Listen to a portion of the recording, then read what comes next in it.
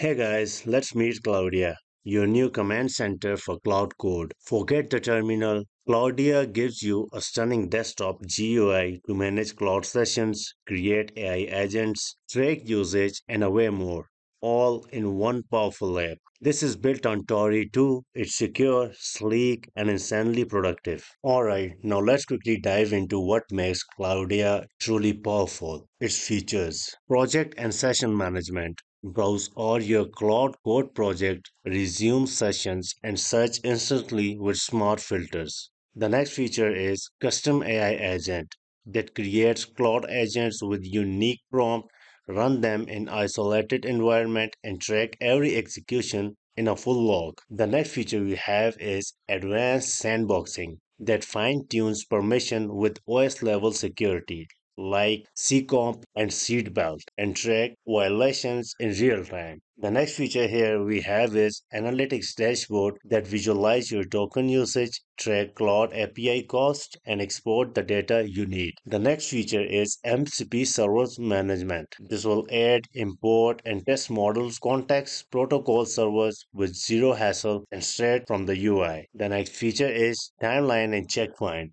that will create visual versioning for sessions, fork them, rewind, and view different in seconds. The next feature we have is that Claude.md editor that will edit and preview markdown files with syntax highlighting all inside the Claudia. This isn't just a GUI, it's a Claude code leveled up. Install Claude CLI from Claude's official website.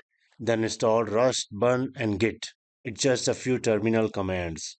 Claude runs on Windows 10, Mac OS 11, and Ubuntu 20.04 or newer.